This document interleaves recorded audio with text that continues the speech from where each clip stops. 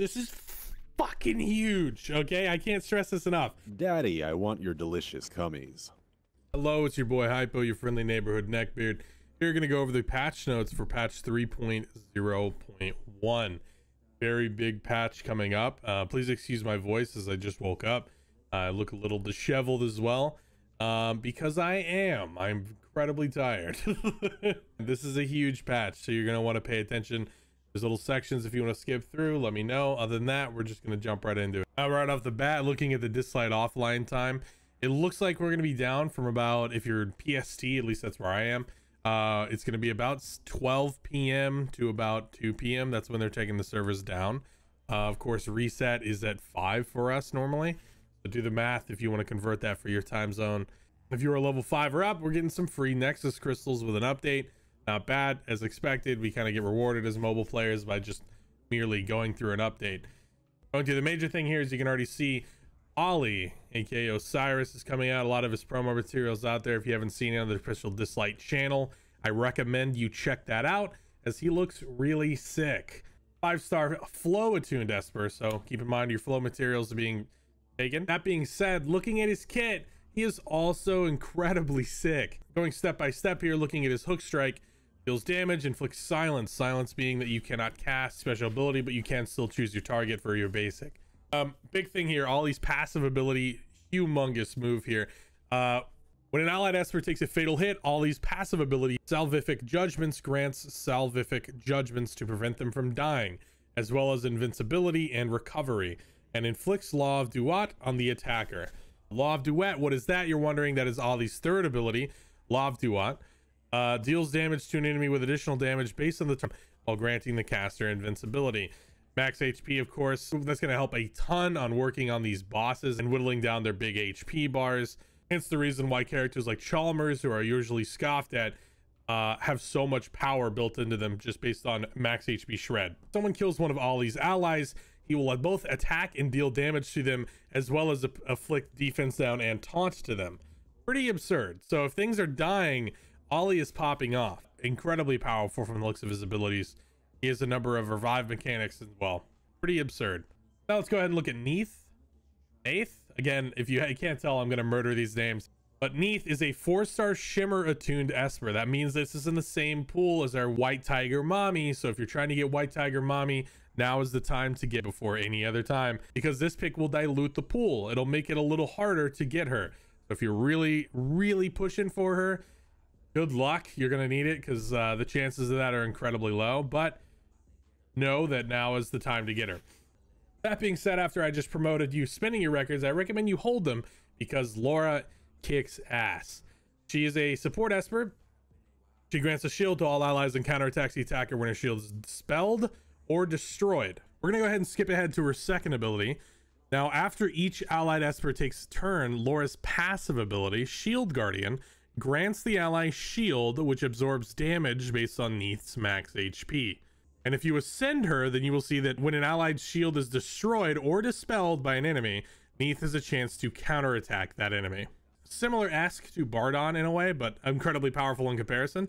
So having read that, now we can understand the rest of her abilities. We'll go ahead and jump to her basic real quick though.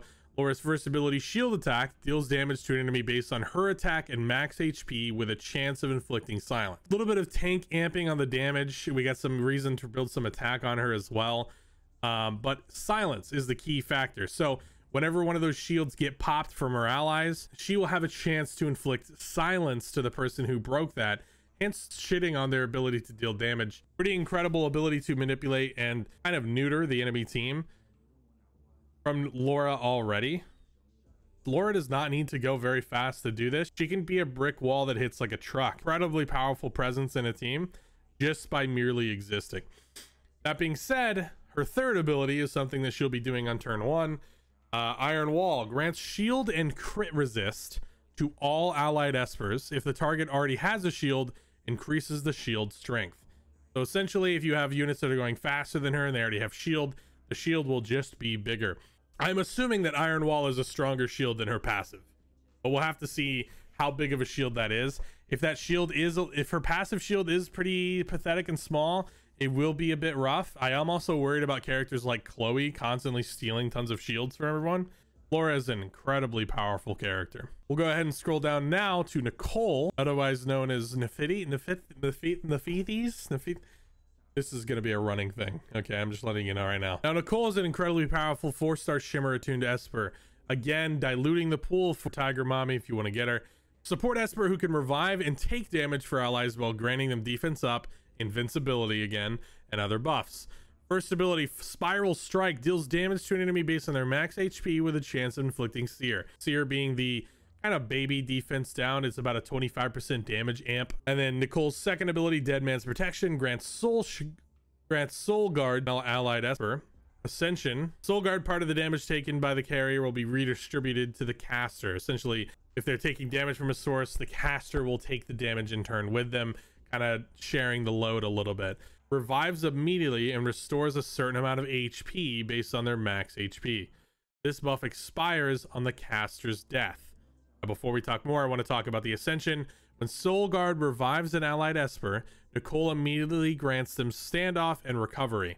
Standoff being that they cannot die, and recovery, of course, on their turn they will they will regenerate. Curious about the interaction of whenever a carrier dies, them being revived. Do they still have the Soul Guard buff on them? does that mean that Nicole is going to take damage from them still after, even though they have the standoff buff? Her third ability, Spinning Wrap, deals damage to all enemies based on their max HP, granting defense up and invincibility to all allied espers and soul guard to the ally with the lowest HP. Yeah, that is very. She's very no die is kind of the idea. It's it's almost like Catherine, except more, even more survivability focused. Um, I'm a bit torn on Nicole if you can't tell. She's going to be somewhere in between incredibly irrelevant or incredibly powerful, and uh, I, I'm kind of up in the air about her. Obviously, I think the invincibility and everything will be incredibly powerful, but is that two turn? Is that one turn? You have fast allies, that's not going to matter you know that that invincibility will fall off very quickly i can definitely see here being a great addition to a point war defense or in the upcoming war hollow battles defense i can absolutely see her being incredibly powerful but i'm getting ahead of myself a little bit so moving on to the fourth addition to the roster we have meredith meredith uh, actually being a four star wind attuned esper so more wind i know we already have a ton of winds to work with but we got another one. Now, of course, Meredith in this example actually can only be acquired through an event that's going to be going on that I'll explain later. But um, she possesses... So we'll go ahead and take a look. First ability, Sonic Venom. Attacks an enemy with a chance of inflicting poison. poison obviously being a lot stronger against high HP targets. So think bossing at this point. Uh, Meredith's second ability, Sonic Shield, restores a certain amount of HP and grants defense up and crit resist to an allied Esper. So general usefulness with the defense up, but also crit resist. We'll admit that it's a little underwhelming, but I will say that anytime I see crit resist, I can't help but feel it's incredibly focused towards PvP. Um, just me thinking, but uh, but Meredith's third ability, Hand of Skilla, Skyla, Skila, uh, reduces the max HP of an enemy by a certain percentage of HP to all allied espers equal to a portion of damage dealt. Back to bossing here, I'm thinking that this is going to chunk bosses pretty decently and uh, a certain portion of damage dealt, I imagine a boss is going to be restoring quite a bit of HP to everyone on your team. This might be even just be a full heal when everyone's 20%. This could be insane. That being said, uh, the Ascension ability, if, this, if an allied Esper's HP is above a certain ratio, grants speed up. So nice little addition to this. If you hit that level that you're looking at, that, that good amount of HP burnt to burn through, it will be incredibly powerful. That being said, I'm a little worried about Meredith on auto. I feel like uh, with the AI system, she will target not the highest max HP target, but she'll instead target the lowest HP target that is currently available. So I will say that Meredith is probably going to be a manual play only, but we'll see if that, we'll see how that works out overall.